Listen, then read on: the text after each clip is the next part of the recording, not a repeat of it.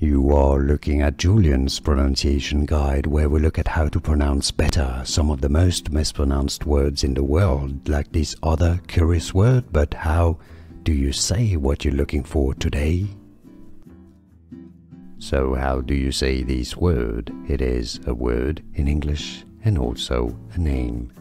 Levy is how the word is said. Levy. It's also how the name is usually pronounced. The pronunciation is as Levy. Levy. And now you know.